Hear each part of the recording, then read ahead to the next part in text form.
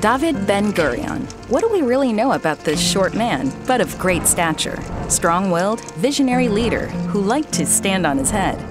Ben Gurion was born in 1886 in Goat Alley in the Polish town of Plonsk, which is where he first dreamed of independence for the Jewish people in the land of Israel. Even when he was still young, he was able to visualize the greater picture, and he understood that the Hebrew language was the basis through which to awaken patriotism among the Jews. So, in 1900, he and a few friends established the Ezra Youth Movement.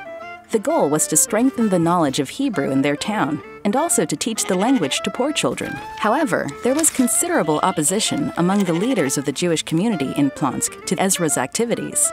About a year later, its members looked for other fields of activity. But Ben Gurion did not give up. He started his political journey by joining the Poalei Zion party and making Aliyah to the land of Israel in 1906. On his second day in the land of Israel, he started working in the orchards of Petach Tikva and strongly believed that Jews must work the land and settle the country.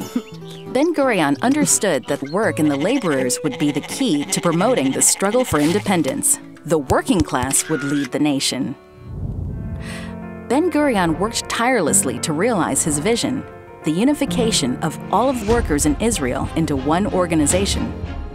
And in fact, in 1920, the various labor groups united and the General Federation of Workers in Israel, the Histadrut, was established. Ben Gurion was elected secretary a year after the Histadrut was established and remained one of its pioneering leaders. Under his leadership, the Histadrut and the workers became the backbone of Jewish settlement and the Zionist movement. Ben Gurion pursued his goal with determination and became the national leader who turned his vision into reality. In 1937, when the British proposed a plan for the partition of the land of Israel, Ben Gurion recognized that they were being offered a window of opportunity to establish the Jewish state, even if that meant a compromise over the size of the country. According to that same perception of the greater picture, Ben Gurion concluded that the establishment of the state depended first and foremost on its ability to defend it.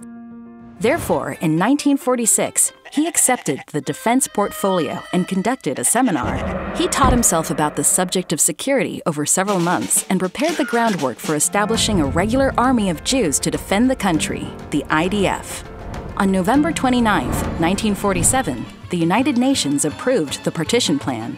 But as Ben Gurion had feared, the War of Independence broke out very soon after that, and he undertook the leadership position. Ben Gurion understood that Jerusalem, which was under siege, was of huge symbolic and practical significance. So in the spring of 1948, he gave the command for Operation Nachshon to break through the siege of the city, and he insisted on concentrating forces from all over the country to this end, despite the misgivings of the military commanders. After tenacious combat, the operation succeeded and became a turning point in the war.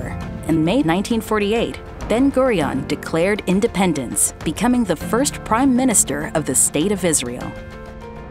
He spearheaded a policy of ingathering of the exiles, and the population doubled within four years. Now, thousands of immigrants had to be settled, and Ben Gurion aspired to establishing an ideal society in the land of Israel. In 1953, Ben Gurion decided to retire from the premiership and to go up to Sde Boker in the Negev.